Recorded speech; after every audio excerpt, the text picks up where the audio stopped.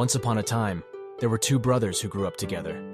The elder brother, John, was a responsible and ambitious person who had a successful career as a lawyer. He was always focused on achieving his goals and believed that hard work and dedication were the keys to success. On the other hand, the younger brother, David, had a hot temper and often got into fights and arguments. He struggled with anger management issues and found it difficult to control his emotions. Despite their differences, the two brothers remained close throughout their childhood and teenage years. However, as they grew older, their egos began to clash, and they started to distance themselves from each other.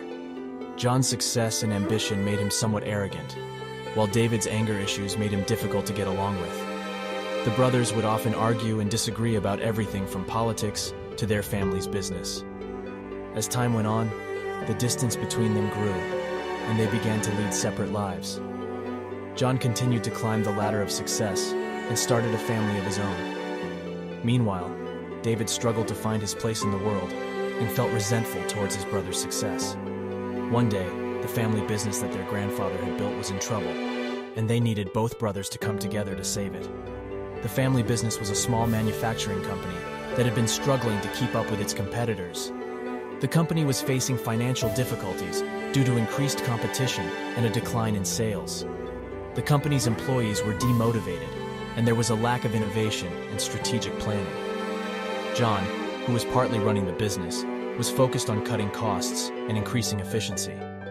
However, his approach was too aggressive, and he had overlooked the importance of investing in new product development and marketing. David, who had a more creative and customer-centric approach, saw the potential of expanding the company's product line and reaching out to new customers. When the family business was on the verge of bankruptcy, John and David decided to put their differences aside and work together to save it. They held a series of meetings to discuss their vision for the company and brainstormed ideas to increase revenue and cut costs. John agreed to give David more freedom to develop new products and explore new markets, while David agreed to work on reducing costs and increasing efficiency in production. They also decided to invest in marketing and branding to increase the visibility of the company and attract more customers. Together, they developed a new strategy for the company that focused on innovation, quality, and customer service. They streamlined the production process, improved the quality of their products, and invested in research and development to come up with new and innovative products. They also created a new marketing campaign that highlighted the unique features and benefits of their products, and reached out to new customers through social media and other marketing channels. Their joint efforts paid off, and the company's revenue started to increase. The employees were more motivated, and there was a renewed sense of purpose and optimism in the company. With their collaboration and shared vision, John and David were able to turn the company around and ensure its long-term success. Through their joint efforts, they were able to overcome their egos and forgive each other for their past mistakes. They realized that their bond as brothers was more important than their disagreements, and they decided to rebuild their relationship.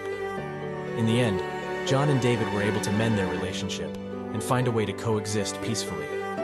They learned that forgiveness, understanding, and cooperation were the keys to maintaining a healthy and happy relationship, even in the face of disagreements and challenges. The moral of the story is that family is more important than differences. No matter how big the differences or disagreements between family members may be, family should always come first. In the end, it's important to put aside personal issues and work together towards a common goal,